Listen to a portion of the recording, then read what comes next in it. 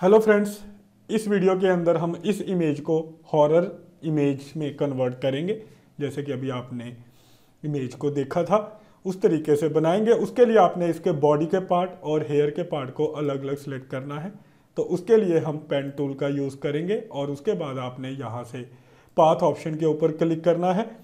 और इसके बॉडी के पार्ट को, यहाँ से हम इसके बॉडी के पार्ट को इस तरीके से हेयर और बॉडी का पार्ट आपने अलग अलग, थोड़ा शार्पली आप सेलेक्ट कीजिएगा। मैं थोड़ा स्पीड पे सिलेक्ट कर रहा हूँ तो सिलेक्शन करते हुए थोड़ी सी कमी रह सकती है। लेकिन आपकी कमी नहीं रहनी चाहिए, आप थोड़ा बेटर सिलेक्ट कीजिएगा। तो आप इसके लिए लेसो टूल का भी यूज़ कर सकते हैं। अगर आपने लेसो टूल का यूज़ करना है तो आप लेसो टूल यूज़ कर सकते हैं।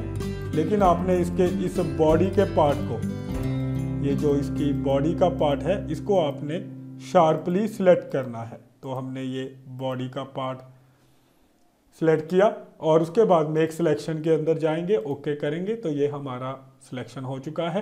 फिर आपने लेयर में जाना है, न्यू लेयर में, layer via copy, shortcut key control J तो आप देख सकते हो इसकी हमारे पास ये लेयर अलग से फेस की लेयर क्रिएट हो गई है। ऐसे ही आपने पेन टूल के द्वारा फिर पाथ की सिलेक्शन करनी है। इसके हेयर को अब हमने इसके हेयर को यहाँ से सिलेक्शन कर लेते हैं हेयर की। कुछ इस तरीके से यहाँ से आपने सिर्फ़ हेयर की सिलेक्शन करनी है। ये भी आपने बड़े शार्पली तरीके से इसके हेयर्स को ऐसे सिलेक्ट कर लेना है। पहले हम इस तरफ़ के हेयर को सिलेक्ट कर लेते हैं। तो आपने दोनों तरफ़ के हेयर्स को सिलेक्ट करना है। तो जहाँ से स्टार्ट किया था, वहाँ हमने छोड़ दिया और यहाँ से भी आपने सेलेक्ट करना है। सिर्फ़ हेयर को सिलेक्ट करना। ऐसे आप हेयर को सिलेक्ट करते जाइए। जैसे भी आप देख रहे हो, आपने शार्पली तरीके से थोड़ा सिलेक्ट करना है। मैं थोड़ा जल्दी सिलेक्ट कर रहा हूँ टाइम को सेव करने के लिए। तो आप थोड़ा शार्पली तरीके से इन हेयर्स को सिलेक्ट कीजिएगा। इस तरीके से सिलेक्शन कीजिए। और आपने राइट क्लिक करना है, मेक सिलेक्शन में जाना है, ओके करना है तो आप देखोगे इसके हेयर दोनों पार्ट जो हमने पेन टूल से सिलेक्ट किए, वो सिलेक्ट हो गए। लेयर में न्यू लेयर में शॉर्टकट की यूज़ कर सकते हैं। कॉपी क्रिएट करने के लिए लेयर वाया कॉपी आपने कंट्रोल जे के ज़रिए इसकी क्रिएट कर लेनी है। लेकिन आपने थोड़ा ध्यान रखना है, ये आपने बैकग्राउंड के ऊपर क्लिक करके एक बार फिर से थोड़ा बैक करेंगे इसका स्टेप तो आपने बैकग्राउंड के ऊपर क्लिक करना है। उसके बाद आपने लेयर के अंदर new layer via copy create करनी है तो ये हेयर की हमारे पास कॉपी क्रिएट हो गई है। और उसके बाद अब हम इसके फेस को सिलेक्ट करेंगे। आपने लेयर के अंदर जाना है और हमारे पास ये न्यू फिल लेयर के अंदर पैटर्न की ऑप्शन होती है। हम इसके फेस के अंदर पैटर्न भरेंगे। यहाँ पे लिख सकते हो आप लेयर का नाम फेस पैटर्न तो जो भी आप लेयर का नाम लिखना चाहें, यहाँ पे लिख सकते हो। तो ये पैटर्न हमारा आ गया। यहाँ पे आपने पैटर्न जो भी इसके अंदर भरना है, वो सिलेक्ट करना है तो ये सिलेक्ट कर लिया। यहाँ से थोड़े स्केल की आपने एडजस्टमेंट कर देनी है और आपने ओके करना है। और इफ़ आप देख सकते हो, ये फेस लेयर का जो पैटर्न आ गया है, इसको आपने अगर लेयर वन के साथ ग्रुप करना है तो ये फेस को सिलेक्ट करेंगे। और ये जो आपने फेस पैटर्न है, बिल्कुल लेयर के वन के ऊपर, जिसके अंदर आपने ग्रुप करना है, उसके ऊपर रखना है लेयर के अंदर चलेंगे। Group with previous shortcut key. Control G का यूज़ करेंगे तो ये हमारा पैटर्न इस फेस के अंदर भरा गया। यहाँ से हम इसका पैटर्न मोड यहाँ से चेंज करेंगे, ओवरले आप यूज़ कर सकते हो या फिर आप यहाँ से कलर लॉज का यूज़, ये थोड़ा ज़्यादा हो गया। यहाँ से हार्ड कलर, इस तरीके से आपने हार्ड या वेव्ड लाइट, ऐसे आपने इसका कलर देना है। यहाँ से हम इसका कलर जो है ओवरले ये थोड़ा ज़्यादा बेटर लग रहा है, लेकिन इसको भी और बेटर बनाने के लिए हम तो यहाँ पे हम इसको मल्टी कलर ये मल्टी कलर दे देते हैं, ज़्यादा बेटर लगेगा तो ये मल्टी कलर हमने इसको दे दिया है। और उसके बाद आपने इसको लेयर वन के साथ अगर कंबाइंड करना है तो लेयर वन के साथ कंबाइन करने के लिए आपने यहाँ पर लेयर वन के इससे यहाँ पे लिंक क्रिएट करना है। और उसके बाद आपने लेयर के अंदर जाकर merge link shortcut key control E की ऑप्शन यहाँ पे क्लिक करना है तो ये दोनों लेयर मर्ज हो जाएँगी। और उसके बाद हमने आगे बढ़ना है। इसके अंदर अगर हमने थोड़ा कलर और बेटर इसके अंदर कलर भरना है तो उसके लिए आपने यहाँ से एक न्यू लेयर क्रिएट कर लेना है। तो हम यहाँ पे एक new layer shortcut key shift control N का यूज़ करेंगे। यहाँ पे आप लिख सकते हो फेस कलर कि हमने फेस के अंदर थोड़ा कलर भरना है। और अब हम यहाँ पर जो फेस का कलर है, वो भरने के लिए यहाँ पे ब्रश टूल का यूज़ करेंगे।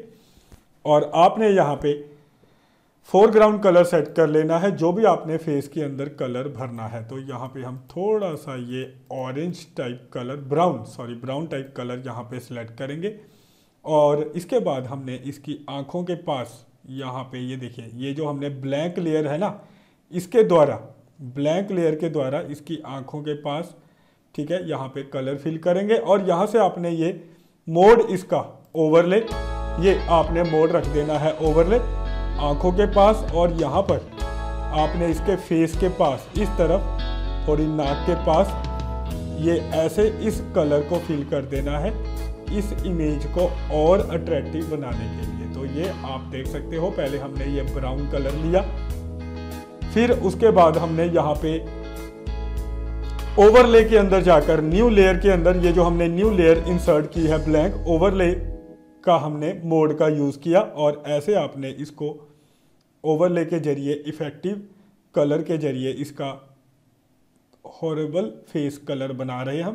तो ऐसे आपने ये हॉरेबल हॉरर का आपको ऐसे लगेगा, एक हॉरर फ़िल्म के अंदर जैसे कल एक इमेज का किसी भी उसका चेहरा होता है तो बिल्कुल वैसा चेहरा हमने इसका बना दिया है। तो आप देख सकते हो, और बेटर इसको बनाने के लिए, अब हम इसके अंदर, यहाँ से कस्टम शेप के अंदर जाएँगे। यहाँ से कस्टम शेप के अंदर, ये देखिए, ये पड़ा है कस्टम शेप और यहाँ से पहले आपने एक लेयर क्रिएट करनी है तो ये शेप लेयर को हमने यहाँ से सिलेक्ट करना है, और यहाँ से हम आप देख सकते हो, यहाँ से मैंने सबसे पहले क्या किया ऑल पे क्लिक किया ताकि मेरे पास ये सारे के सारे कस्टम लेयर के जो शेप हैं, वो सारे आ जाए। और यहाँ से हम ये बर्ड सेलेक्ट करेंगे और इसके फेस के ऊपर, यहाँ पर आपने ये बर्ड क्रिएट करना है। इस तरीके से ये बर्ड क्रिएट करना है और उसके बाद आपने इसको यहाँ से ये आप देख सकते हो, इसकी अलग से शेप आ गई है। अलग से लेयर यहाँ से ओवरले का यूज़ करके, या फिर और भी आप इसके अंदर कलर बर्न इस तरीके से ये कलर बर्न का यूज़ कीजिए मोड का। तो ऐसे हम इसको यहाँ पे एडजस्ट करेंगे। यहाँ से अगर आप इसकी थोड़ी ओपेसिटी कम करना चाहें ताकि ये आपको थोड़ा लाइट कलर दिखे तो आप इस तरीके से इसका कलर लाइट कर सकते हैं। तो मेरे ख्याल से क्लियर है कैसे हमने ये शेप देनी है। कस्टम शेप के अंदर जाकर और उसके बाद हमने इसके जो हेयर हैं, हमने इसके जो हेयर सेलेक्ट किए थे, अब हमने ये लेयर टू को सिलेक्ट कर लिया, जिसके अंदर हमने इसके हेयर को लेयर वाया कॉपी सेलेक्ट किया था, और उसके बाद आपने फ़िल्टर के अंदर जाना है, और यहाँ पे हमारे पास ये ऑप्शन होती है। यहाँ पर स्केच की स्केच के अंदर ये चार कोल की ऑप्शन है, यहाँ पर हम इसके हेयर की सेटिंग करेंगे। तो आप देख सकते हो इसको चार कोल या एक और ऑप्शन है, चारकोल इफ़ेक्ट की जगह एक और ऑप्शन है इसके अंदर स्केच के अंदर चार, ये ये देख लेते हैं, ये ऑप्शन बेटर है। तो यहाँ से हम इसकी एडजस्टमेंट करेंगे तो यहाँ से स्मूथनेस कितनी रखनी है ओके करेंगे तो इसकी इमेज थोड़ा, ये इतनी ज़्यादा अट्रैक्टिव नहीं लग रही तो और एक, दो ऑप्शन यूज़ कर लेते हैं, और अट्रैक्टिव इसको बनाने के लिए। तो देखते हैं और किससे हम इसको और अट्रैक्टिव बना सकते हैं। तो ये चौक एंड चारकोल चलिए फ्रेंड्स इस तरीके से करते हैं कि इसको हम ये फ़िल्टर इफ़ेक्ट नहीं देते, आगे बढ़ते हैं। आगे हम इसको पहले इमेज को और अट्रैक्टिव बनाने के लिए इसको, हम यहाँ से पहले फ्लैटरन इमेज के ज़रिए इस इमेज को, आप देख सकते हो, हमने फ्लैटरन इमेज के ज़रिए इसको एक कंबाइन करके एक इमेज के अंदर कन्वर्ट कर दिया।